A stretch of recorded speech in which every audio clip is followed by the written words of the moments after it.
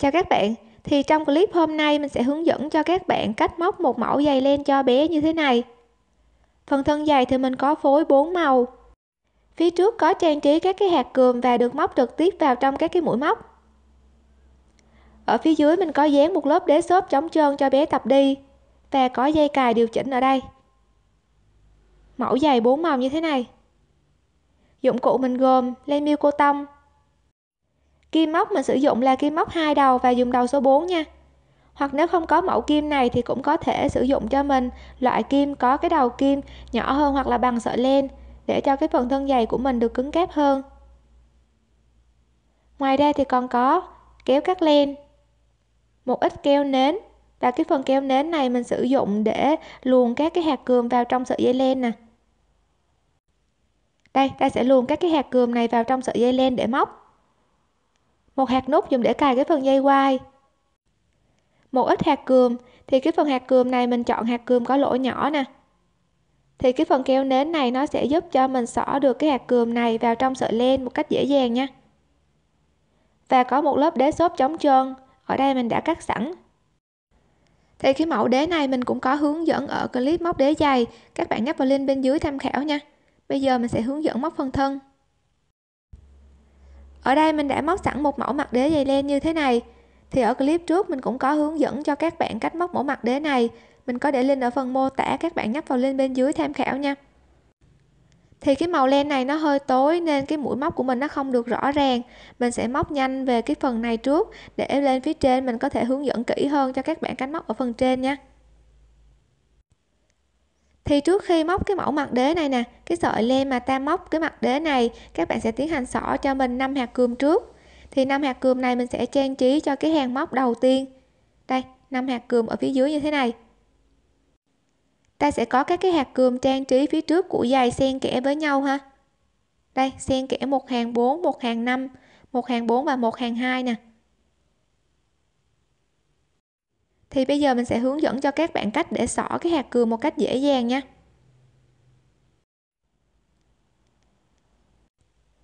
Ở cái phần hạt cườm mình dùng nó có cái khoảng trống nhỏ nè, thì cái khoảng trống nhỏ này để luôn được cái sợi dây len to vào thì sẽ rất là khó. Bây giờ mình sẽ dùng keo nến để hướng dẫn cho các bạn cách làm sao để xỏ vào dễ dàng nha. Đây, các bạn sẽ sử dụng keo nến để chích một phần keo cho mình ở cái đầu này. Ta sẽ chích một phần keo sau đó, vo tròn lại, để cho cái sợi len của mình nó được cứng và nhỏ lại nè. Như vậy là mình đã có được một đầu dây len nhỏ và cứng cáp như thế này. Thì lúc này cái việc xỏ cái hạt cườm vào trong cái sợi dây len sẽ rất là dễ dàng nha. Cái sợi len của mình, cái đầu kim nó nhỏ nè, ta xỏ vào nó sẽ rất là dễ dàng. Ở cái sợi len màu tím nhạt này, các bạn sẽ xỏ cho mình 5 hạt cườm liên tiếp nha. Đây, ta sẽ xỏ các cái hạt cườm liên tiếp với nhau. Thì cũng tương tự như cái sợi len màu ờ, tối á, các bạn cũng xỏ cho mình 5 cái hạt cườm như thế này. Khi đã xỏ được 5 hạt cườm vào trong cái sợi len màu tối như thế này, thì ta mới bắt đầu móc cái phần mặt đế. Và khi móc, ta sẽ đẩy các cái hạt cườm này ra phía sau nè. Khi xong mặt đế thì ta sẽ có 5 hạt cườm trong cái sợi dây len nhé thì tương tự cho phần dây len màu tím nhạt này, cũng xỏ cho mình 5 hạt cườm ha. Bây giờ mình sẽ hướng dẫn cho các bạn cách móc cái hàng móc đầu tiên ở cái phần thân dày và mình sẽ luồn các cái hạt cườm để trang trí cho cái phần thân dày phía trước nha.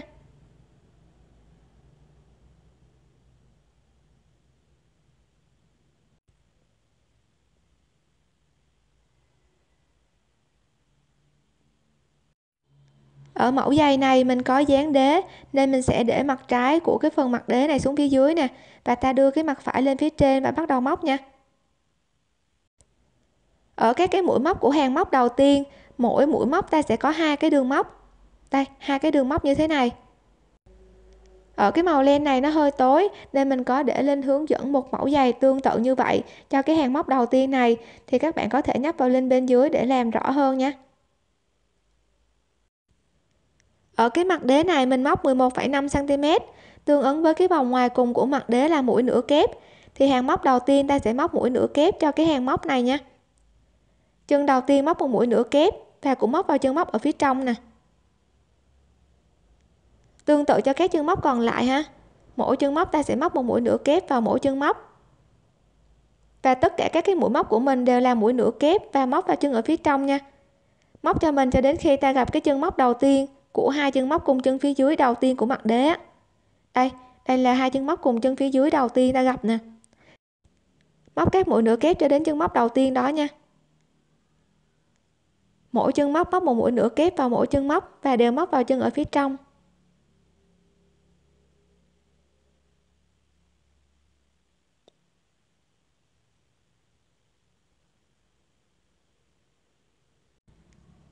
Khi đã móc được các cái mũi nửa kép thì cái hàng móc phần thân của mình nó đã lên được một hàng như thế này. Ở cái chân móc đầu tiên của hai mũi kép đơn cùng chân ở phía dưới nè, thì cái chân móc đầu tiên này các bạn sẽ tạo cho mình một cái hạt cườm ở đây. Thì ta sẽ kéo một hạt cườm phía dưới lên trên. Thì để cho cái hạt cườm này nó được nằm phía ngoài của hàng móc, các bạn sẽ đẩy cho mình ra phía ngoài. Đây, ta sẽ đẩy hạt cườm ra phía ngoài sau đó lấy lên và móc vào chân móc của mũi kép đơn đầu tiên ở hai chân móc cùng chân phía dưới, một mũi nửa kép nè. Móc vào đây một mũi nửa kép và cũng móc cho mình vào chân phía trong nha. Lúc này cái hạt cườm của mình nó sẽ nằm ở phía ngoài của hàng móc nè. Làm tương tự cho các chân móc kế tiếp. Mỗi chân móc ta sẽ móc một mũi nửa kép vào mỗi chân móc và tất cả đều móc cho mình vào chân ở phía trong nha.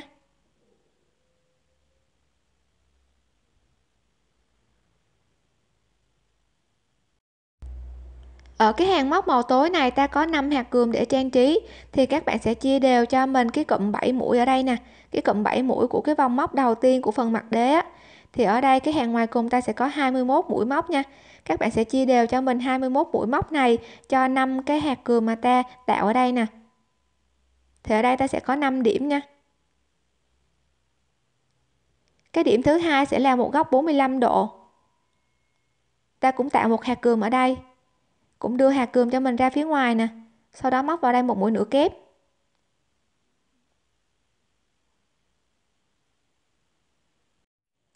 Lưu ý cho mình khi móc, các bạn sẽ đẩy cho mình cái hạt cườm ra phía ngoài nha. Thì hạt cườm của mình nó sẽ nằm ở phía ngoài của hàng móc. Ta được hạt cườm thứ hai cho cái phần trang trí đầu tiên nè. Tiếp tục cho các chân móc kế tiếp. Mỗi chân móc móc một mũi nửa kép vào mỗi chân móc.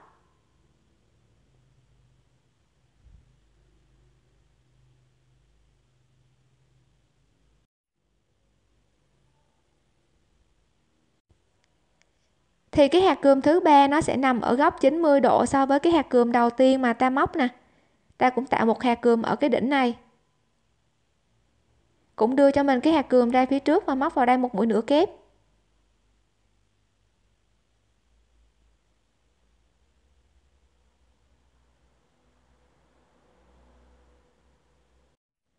Ta được hạt cườm thứ ba như thế này. Đây, và các cái hạt cườm của mình nó sẽ có cái khoảng cách đều nhau ha tương tự cho hai hạt cườm còn lại, thì cũng móc cho mình thêm hai hạt cườm đối diện với hai cái hạt cườm mà ta móc ban đầu này nè. Mỗi chân móc ta sẽ móc một mũi nửa kép vào mỗi chân móc và làm tương tự cho đến cuối hàng nha. Và các cái hạt cườm cũng tạo tương tự cho mình.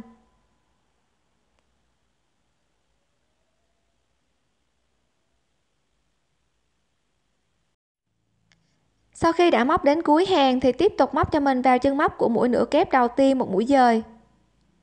Móc lên một mũi móc xích, kéo và cắt len. Như vậy là mình đã lên được hàng móc đầu tiên của phần thân dày. Và ở cái phần mũi dày mình chia đều được 5 hạt cườm cho 5 điểm nè. Bây giờ mình sẽ thay màu cho phần thân dày.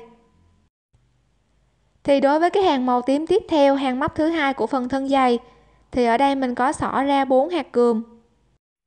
Thì vị trí của hạt cườm này nó sẽ nằm ở chính giữa của năm hạt cườm, ở hàng móc phía dưới. Đây ta cũng tạo một cái điểm nhọn ở phía trước. Tương tự nè, dùng keo nến tạo một điểm nhọn như thế này, sau đó xỏ cho mình bốn hạt cườm nha.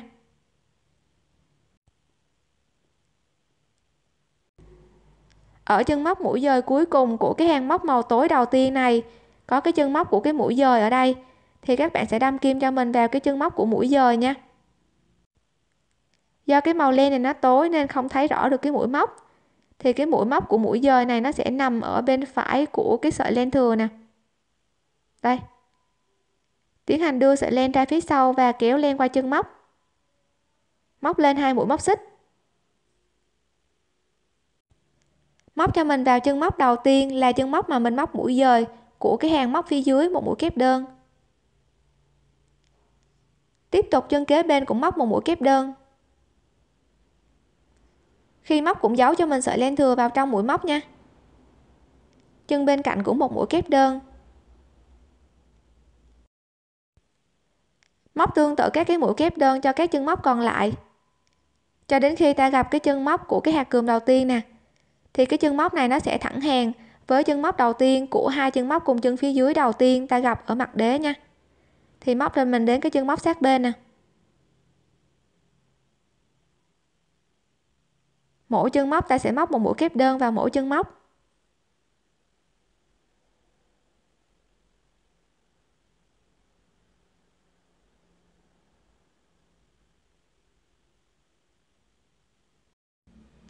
Khi đã móc được đến chân móc của hạt cườm đầu tiên, thì cái chân móc của hạt cườm này, nó sẽ thẳng hàng với cái chân móc đầu tiên của hai chân móc cùng chân phía dưới đầu tiên mà ta gặp ở phần mặt đế nè. Thì cái cách giả mũi nó cũng tương tự như trong cái chiếc giày mà mình hướng dẫn ở clip trước á. Đây, chân móc thẳng hàng với chân móc đầu tiên của hai chân cùng chân phía dưới và chân kế bên ta sẽ chụm lại thành một chân ha. Thì cái cách chụm sẽ làm như sau. Các bạn tiến hành lấy len, đâm kim vào chân hạt cườm nè, kéo len qua chân móc, kéo qua hai chân móc trên kim. Tiếp tục lấy len và đâm kim vào chân kế bên kéo lên, kéo qua hai chân móc trên kim, sau đó kéo lên cho mình qua ba chân móc trên kim. Như vậy là hai mũi ta giảm được một mũi ở hàng phía trên nè. Tiếp tục hàng móc kế tiếp ta sẽ làm xen kẽ một mũi kép đơn vào cái chân móc kế bên này. Lưu ý cho mình cái chân móc kế tiếp này, nó nằm ở chính giữa của hai hạt cườm mà ta tạo ở phía dưới nè. Thì ở hàng phía trên này các bạn sẽ tạo cho mình một hạt cườm ở đây ha đây, cái mũi móc này nó sẽ nằm ở chính giữa của hai cái hạt cườm phía dưới nè. Thì cái chân móc kép đơn này ta sẽ móc một hạt cườm ở đây. Để tạo hạt cườm ở trên cái mũi kép đơn, các bạn tiến hành lấy len. Sau đó ta đẩy một hạt cườm ra phía trước. Khi đã lấy lên rồi thì tiến hành đẩy cho mình hạt cườm ra phía trước của kim móc và móc vào chân kế bên này một mũi kép đơn.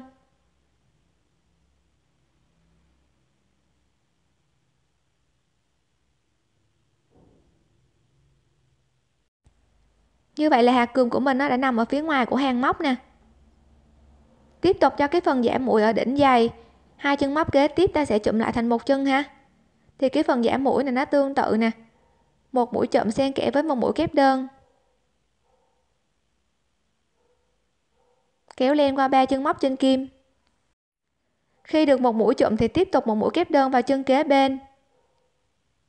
Và một mũi chậm vào hai chân móc kế tiếp thì cái cách chụm này nó sẽ xen kẽ với nhau cho đến khi ta được 7 mũi chụm xen kẽ ha. Ở đây mình đã có được 3 mũi chụm xen kẽ rồi nè. Một mũi nè, một mũi kép đơn, mũi chậm thứ hai, mũi kép đơn và mũi chậm thứ ba. Thì cái mũi kép đơn tiếp theo sẽ là cái chân móc nằm chính giữa của hai hạt cườm phía bên này. Các bạn sẽ tạo cho mình một hạt cườm ở đây. Cũng lấy len sau đó đẩy cho mình hạt cườm ra phía trước của kim móc. Và móc vào chân kế bên một mũi kép đơn.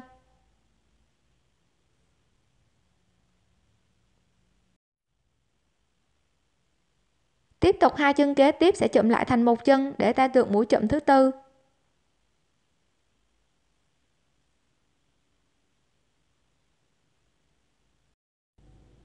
Chân kế bên sẽ móc một mũi kép đơn.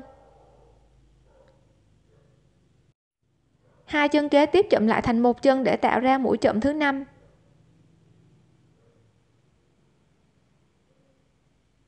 Tiếp tục làm một mũi kép đơn cho chân kế tiếp. Thì mũi kép đơn này sẽ nằm chính giữa của hai cái hạt cườm phía dưới, cũng tương tự tạo cho mình một hạt cườm ở đây ha. Lấy len sau đó đưa hạt cườm ra phía trước và móc vào đây một mũi kép đơn.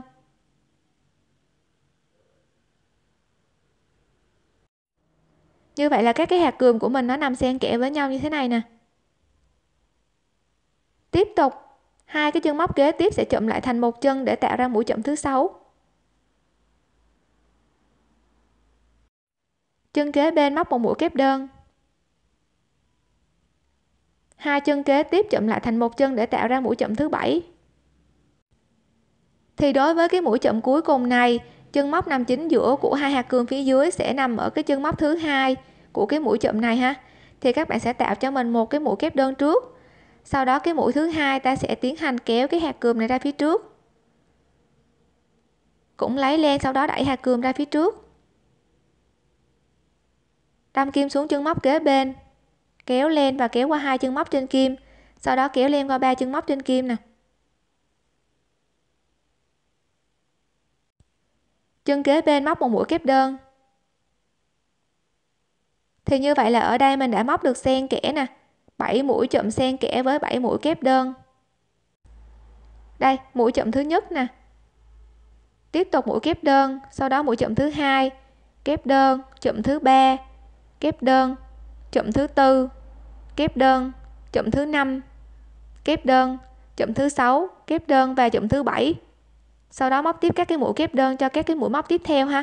Thì ở đây mình sẽ có xen kẽ 7 mũi chậm nè. Hạt cườm của mình nó sẽ nằm ở chính giữa của các hạt cườm phía dưới. Tiếp tục móc vào các chân móc kế tiếp. Mỗi chân móc ta sẽ móc một mũi kép đơn vào mỗi chân móc. Và sẽ làm tương tự cho mình cho đến cuối hàng ha.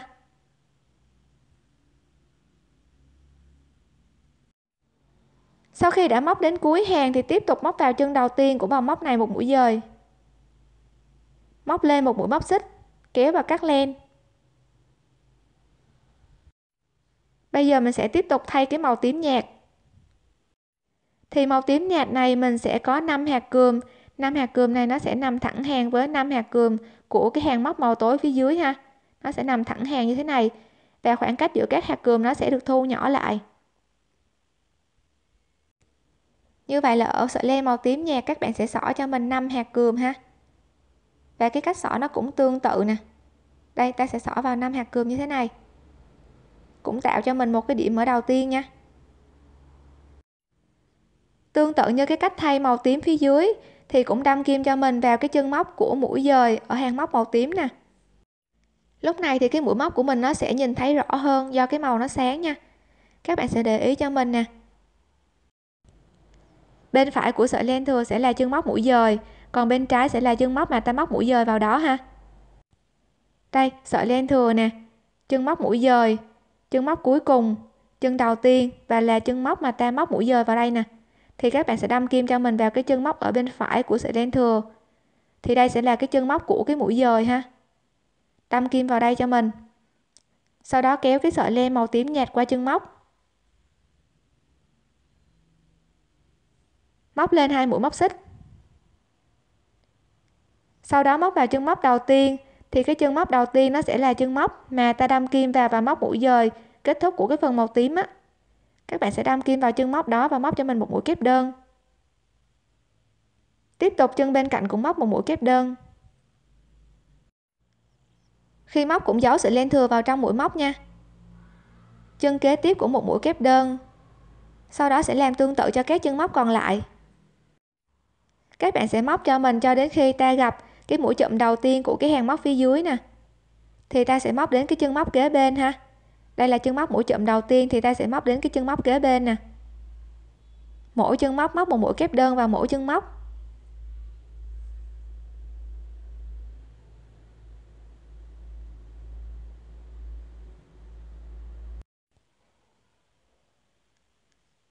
lúc này ở cái chân móc đầu tiên của cái mũi chậm ở hàng màu tím phía dưới, nó thẳng hàng với cái hạt cườm ở phía dưới này nè. Thì các bạn sẽ tạo cho mình một hạt cườm ở cái chân móc này. Cũng lấy len sau đó đưa cái hạt cườm ra phía trước kim móc và móc vào đây một mũi kép đơn ha. Móc vào cái chân móc sát cái chân móc mũi chậm đầu tiên một mũi kép đơn. Sau đó chân móc của cái mũi chậm kế bên nè, cái mũi chậm đầu tiên của hàng móc màu tím phía dưới. Thì cái mũi chậm đầu tiên này và chân móc của mũi kép đơn kế bên, hai chân này các bạn sẽ chậm lại cho mình thành một chân. Thì cái phần giảm mũi của hàng móc thứ ba này, ta sẽ có 7 mũi chậm liên tiếp với nhau và sẽ không xen kẽ mũi kép đơn nha. Lấy len và đâm kim vào chân kế bên nè. Kéo len qua chân móc, sau đó kéo qua hai chân móc trên kim trên kim được 3 mũi móc thì kéo len qua ba chân móc trên kim. Ta tạo ra được mũi chậm đầu tiên. Hai chân móc kế tiếp, các bạn sẽ chậm lại cho mình thành một chân, để ta có mũi chậm thứ hai cho cái hàng móc này. Thì cái chân móc thứ hai của cái mũi chậm thứ hai này, nó sẽ nằm thẳng hàng với cái hạt cườm ở phía dưới. Cái hạt cườm của cái hàng móc màu tím đậm ở phía dưới nè. Thì ta sẽ lấy len, đâm kim vào cái chân móc của mũi chậm phía dưới nè kéo qua hai chân móc trên kim. Sau đó lấy len và tạo cho mình một hạt cườm ở cái chân móc của mũi kép đơn này. Nó thẳng hàng với cái hạt cườm phía dưới á. Lấy len và đẩy cho mình hạt cườm ra phía trước. Móc và kéo len qua chân móc. Kéo qua hai chân móc trên kim, sau đó kéo len qua ba chân móc trên kim. Ta tạo ra được mũi trộm thứ hai, có cái hạt cườm thẳng hàng nha tiếp tục hai chân móc kế tiếp chụm lại thành một chân để ta tạo ra được mũi chụm thứ ba nè. Cũng lấy len và đâm kim lần lượt vào hai chân móc liên tiếp nhau. Sau đó kéo len qua ba chân móc trên kim. Ta có mũi chụm thứ ba nè. Thì ở đây mình đã tạo ra được 3 mũi chụm liên tiếp rồi. Thì các bạn sẽ tiếp tục tạo cho mình thêm 4 mũi chụm nữa để ta có được 7 mũi chụm cho cái hàng móc này. 7 mũi chụm nó sẽ liên tiếp với nhau ha và khi móc cũng lưu ý cái mũi móc thẳng hàng với cái hạt cườm ở hàng dưới cùng nha. Đây, thì lúc này cái chân móc đầu tiên này và chân kế bên này thì cái chân kế bên nó sẽ thẳng hàng với cái chân nằm ở dưới nè. Ta sẽ tạo một hạt cườm ở cái chân móc thứ hai cho cái mũi chậm này ha. Đưa cái hạt cườm ra phía trước của kim móc, sau đó móc vào đây nè. Kéo len qua hai chân móc trên kim sau đó kéo len qua ba chân móc trên kim. Đây, ta được cái mũi chậm thứ tư. Có ba hạt cườm rồi ha. Tiếp tục tạo mũi chậm thứ năm cho hai chân móc kế tiếp. Tương tự hai chân móc kế bên tạo ra mũi chậm thứ sáu. Thì chân móc thứ hai của cái mũi chậm thứ sáu này nó cũng thẳng hàng với cái hạt cườm phía dưới ha. Cũng tạo cho mình một hạt cườm ở chân móc thứ hai của cái mũi chậm này. Lấy lên và đưa hạt cườm ra phía trước kim móc. Đâm kim vào chân móc. Kéo lên, kéo qua hai chân móc trên kim sau đó kéo lên qua ba chân móc trên kim. Ta có được cái mũi chậm thứ sáu. Tương tự hai chân kế bên chụm lại thành một chân để tạo ra mũi chậm thứ bảy.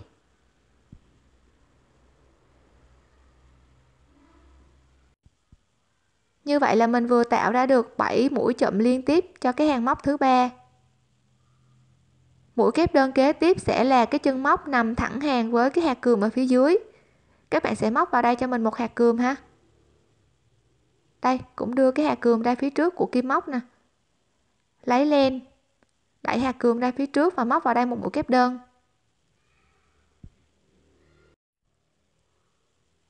Sau đó các chân móc kế tiếp, mỗi chân móc ta sẽ móc một mũi kép đơn cho đến cuối hàng.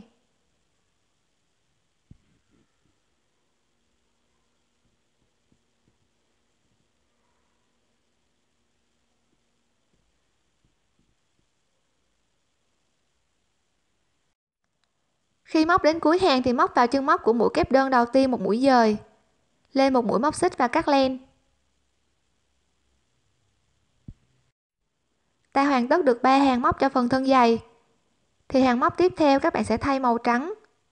Thì cái màu trắng này ta sẽ sử dụng mũi móc đơn để móc nha.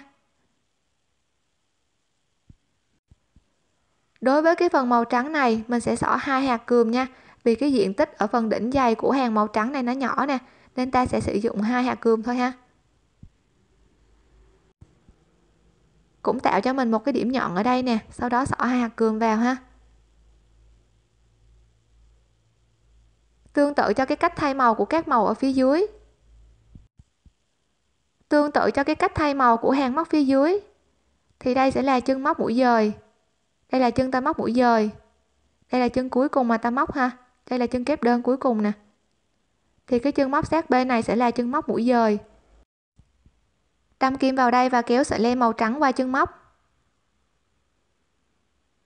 Móc lên một mũi móc xích móc vào chân móc mà ta móc mũi dời của cái hàng màu tím phía dưới một mũi móc đơn. Chân kế bên cũng tương tự. Khi móc cũng giấu cho mình sợi len thừa vào trong mũi móc nha. Móc các cái mũi đơn tương tự, cho đến khi ta gặp cái chân móc của mũi chậm đầu tiên ở cái hàng phía dưới nè, thì ta sẽ đếm ngược ra hai chân móc ha. Chân thứ hai nè. Các bạn sẽ móc cho mình đếm ngược ra, ta sẽ móc đến chân móc thứ ba nha đây, và móc đến chân thứ ba như thế này nè. Móc các cái mũi móc đơn cho đến chân móc thứ ba. Mỗi chân móc móc một mũi móc đơn vào mỗi chân móc.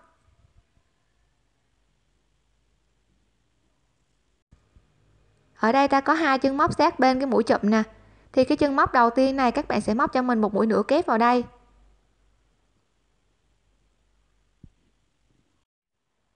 Sau đó chân móc kế bên cái mũi chụm này và cái chân của mũi chụm thì hai chân này ta sẽ chụm lại thành một chân ha. Thì ở đây mình sẽ có 5 mũi chụm liên tiếp. Đây, ta sẽ chụm hai chân móc liên tiếp lại với nhau. Và chụm cho mình 5 chân móc liên tiếp nha. Thì 5 mũi chụm phía trước đỉnh dày của cái hàng móc màu trắng này, ta có 5 mũi chụm thì các bạn sẽ tạo cho mình hai hạt cườm ở cái mũi chụm thứ hai và mũi chụm thứ tư nha. Hai chân móc liên tiếp tạo cho mình một mũi chụm nè. Ta tạo được mũi chụm đầu tiên, thì mũi chụm thứ hai các bạn sẽ tạo cho mình một hạt cườm ở đây. Và hạt cườm các bạn cũng tạo cho mình ở chân móc thứ hai của mũi chụm nha. Chân thứ nhất nè, sau đó tạo một hạt cườm ở chân móc thứ hai.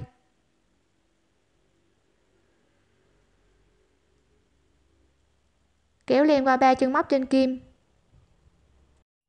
tiếp tục hai chân kế tiếp chụm lại thành một chân để tạo mũi chụm thứ ba.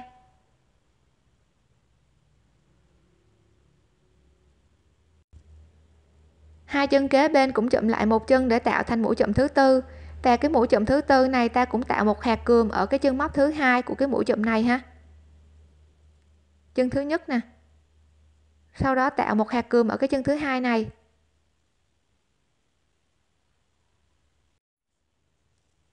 Lấy lên và đẩy hạt cườm ra phía trước. Kéo lên, kéo qua hai chân móc trên kim, sau đó kéo qua ba chân móc trên kim. Tiếp tục hai chân kế bên, ta tạo một mũi chậm thứ năm.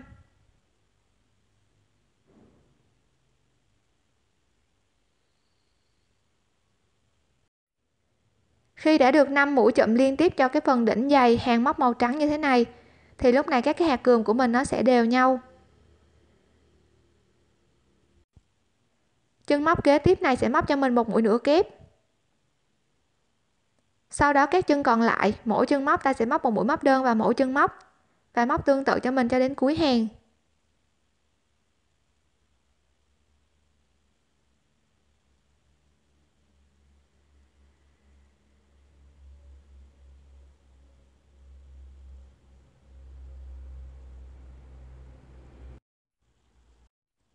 Ở những cái chân móc cuối cùng ta có cái sợi len thừa này, khi móc cũng giấu cho mình vào trong mũi móc nha. Móc cho đến cuối hàng. Khi đến cuối hàng thì móc vào chân móc của mũi móc đơn đầu tiên một mũi dời. Móc lên một mũi móc xích, kéo và cắt len.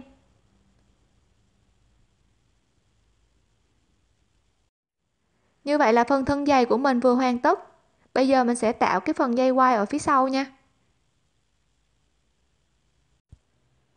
Đối với cái phần dây quai ở phía sau nè, mình đã tạo ra được một chiếc giày ở bên phải như thế này. Đây, thì bây giờ mình sẽ nói sơ về cái cách móc ở bên phải trước.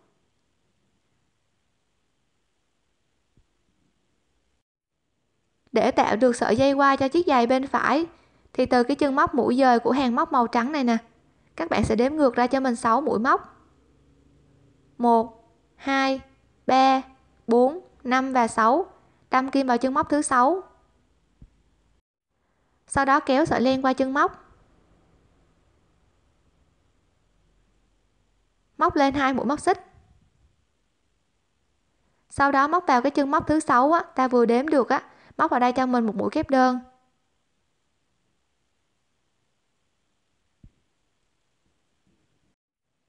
Móc tương tự cho các chân móc còn lại cho đến khi ta gặp đôi cái phần mặt đế lại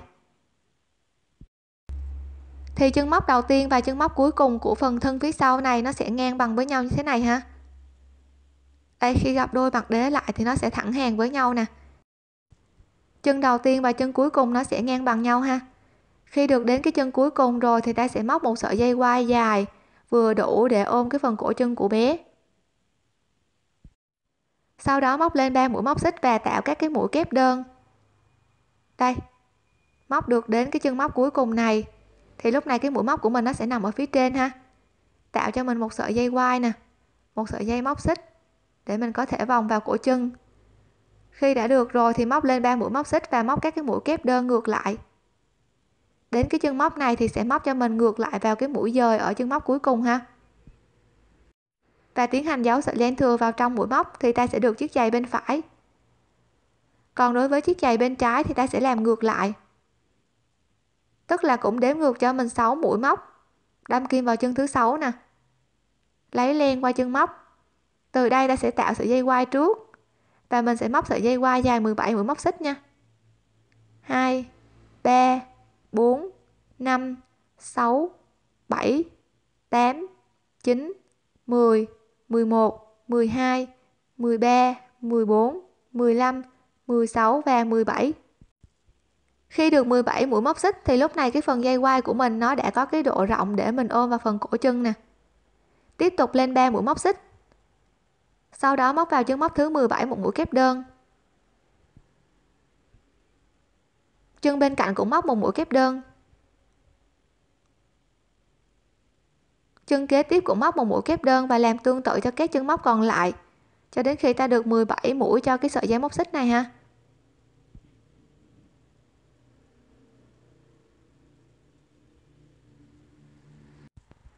Khi đã tạo được sợi dây quai rồi thì tiếp tục móc cho mình vào cái chân móc thứ sáu á. Tính từ cái mũi dời đi qua nè. Thì sẽ móc vào chân thứ sáu này một mũi kép đơn. Và từ đây cũng làm tương tự cho các chân móc còn lại. Mỗi chân móc ta sẽ móc một mũi kép đơn vào mỗi chân móc. Chân kế bên này cũng một mũi kép đơn nè, cũng giấu cho mình sợi len thừa vào trong mũi móc ha.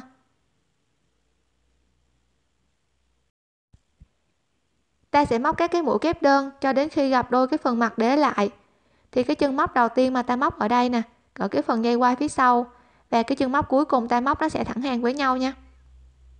Móc các cái mũi kép đơn cho đến cái chân móc thẳng hàng với chân móc đầu tiên này nè.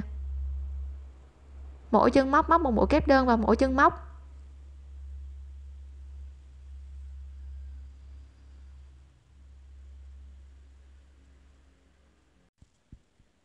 khi hai chân móc đầu tiên và cuối cùng nó đã ngang bằng với nhau như thế này, thì ở cái chiếc giày bên phải mà ta móc ban đầu đây nè, thì các bạn sẽ móc lên cho mình một dây móc xích, sau đó móc ngược lại và móc mũi dời vào đây ha.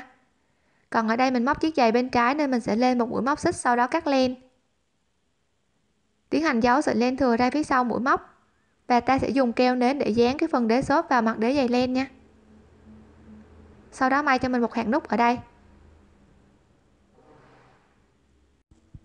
Sau khi đã dán được mặt đế xốp vào mặt đế dày len, và khi dán cũng bo cong để phân biệt chiếc trái phải nè. Và may cho mình một hạt nút ở đây, thì mình vừa hướng dẫn xong cho các bạn cách móc một mẫu dày len, bốn màu và có trang trí hạt cườm ở phía trước như thế này. Chúc các bạn thành công!